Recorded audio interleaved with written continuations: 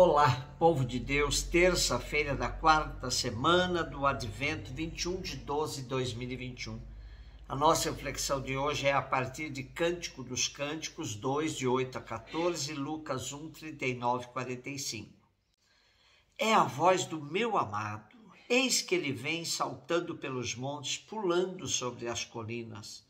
O meu amado parece uma gazela, um cervo ainda novo Eis que ele está de pé atrás de nossa parede, espiando pelas janelas, observando através das grades. O meu amado me fala dizendo: Levanta-te, minha amada, minha rolinha, formosa minha, e vem. O inverno já passou, as chuvas pararam e já se foram. No campo aparecem as flores, chegou o tempo das canções a rolinha já faz ouvir seu canto em nossa terra. Da figueira brotam os primeiros frutos, soltam perfumes as vinhas em flor. Levanta-te, minha amada, formosa minha, e vem, minha rolinha, que moras nas fendas da rocha, no esconderijo escarpado, mostra-me teu rosto, deixa-me ouvir tua voz pois a tua voz é tão doce e gracioso teu semblante. Cântico dos Cânticos canta o amor entre o homem e a mulher de forma até erótica e extremamente carnal e real. Um amor descrito de forma tão ousada e inspirada serve para agradecer a Deus o dom da vida e do encontro de duas pessoas que se amam.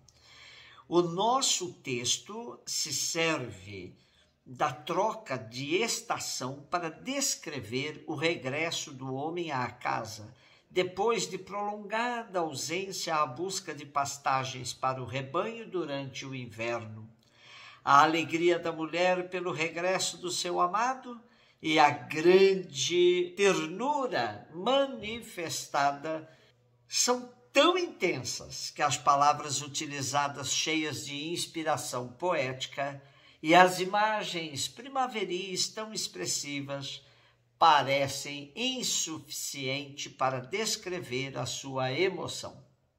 É muito significativo que tenhamos na Bíblia um livro que exalta de maneira tão bonita, tão positiva, a relação amorosa e erótica entre homem e mulher.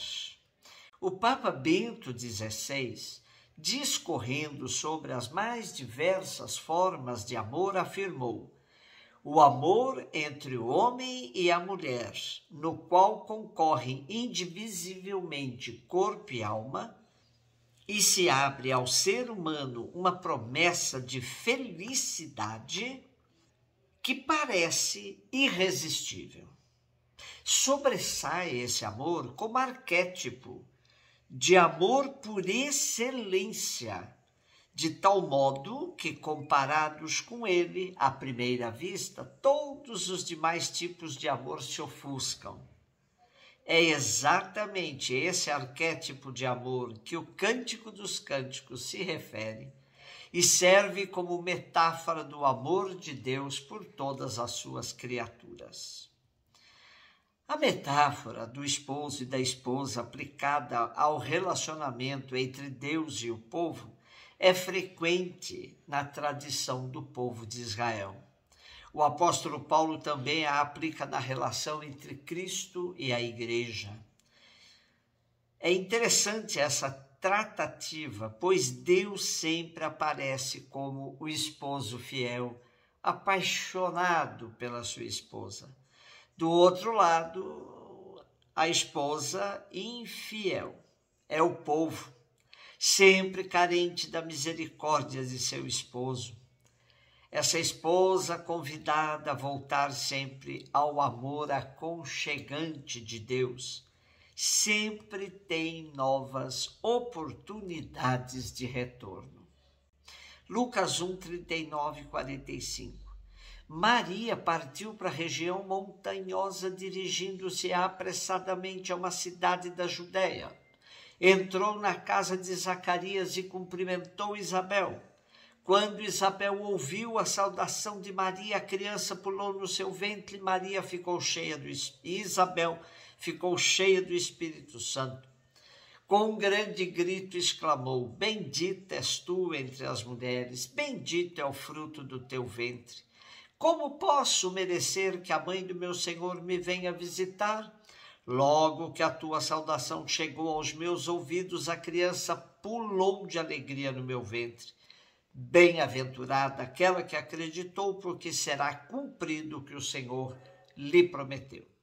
Esse evangelho foi meditado no domingo passado. Então hoje vamos refleti-lo a partir de outro ângulo, o do encontro. Já se disse que a vida é a arte do encontro em meio a tantos desencontros.